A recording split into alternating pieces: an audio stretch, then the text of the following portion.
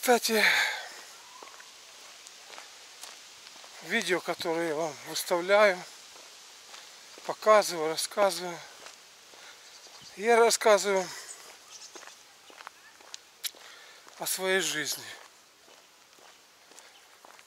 Как там что начиналось, как там слаживалось, что там получалось.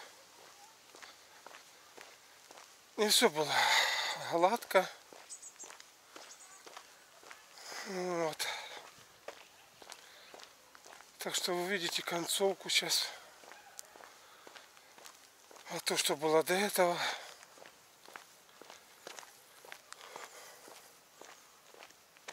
Осталось за кадром. Так вот я вспоминаю, рассказываю. Не хочу сказать, чтобы вы на моей жизни, как на примере, чему-то поучились. Но тем не менее, полезно знать. Как один из примеров того, как